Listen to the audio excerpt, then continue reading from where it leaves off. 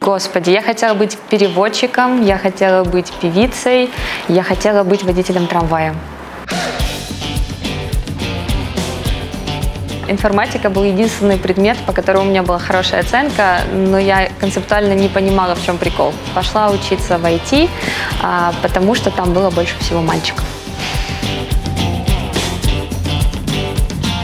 А, мой руководитель говорит, что бывших тестировщиков не бывает. Поэтому, а, ну, наверное, в этом зале, который смотрит видео, мне бы хотелось, чтобы хотя бы 50% внутри были тестировщиком.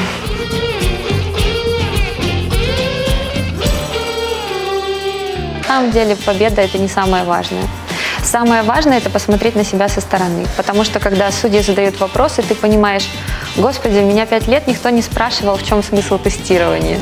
Вопрос, в чем смысл тестирования от тестировщиков, которые работают 8, 10, 12 лет, это, понимаете, новый уровень. Ukrainian IT Awards. Ти заслуговуєш на визнання.